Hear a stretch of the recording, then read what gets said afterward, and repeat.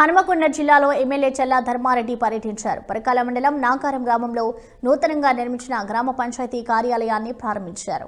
గ్రామంలో పలు అభివృద్ధి కార్యక్రమాలకు శంకుస్థాపన చేశారు. గ్రామాల్లో పార్టీలకు అతీతంగా కలిసికట్టుగా ఉంటే గ్రామాలు అభివృద్ధి చెందుతాయని సూచించారు. అభివృద్ధి ధ్యేయంగా టీఆర్ఎస్ ప్రభుత్వం పనిచేస్తుందని కొనియాడారు.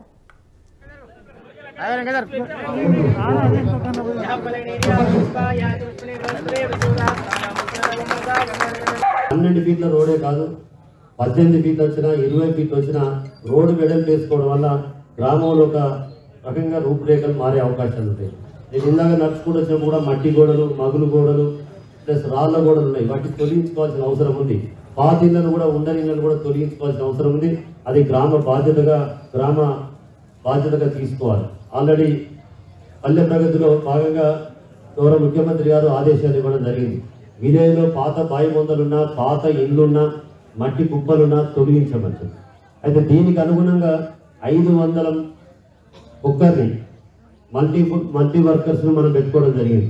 అయితే దానివల్ల ఇక్కడ ఎంతమంది మొత్తం తొమ్మిది గ్రామంలో పనిచేయడానికి